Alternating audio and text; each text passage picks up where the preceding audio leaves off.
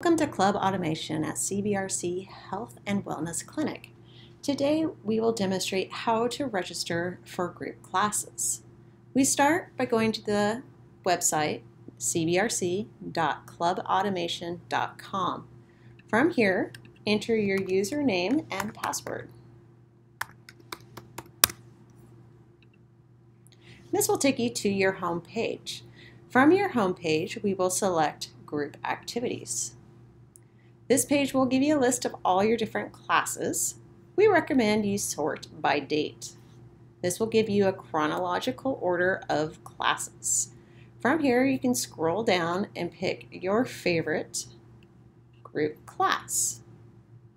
Select Sign Up and select who will be attending and hit Register. In some instances like this, you might find that your screen gets frozen on the thinking.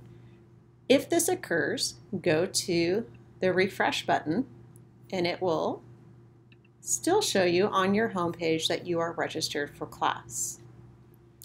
In the event your schedule changes and you are no longer able to make your class, you have the ability to cancel from your main page.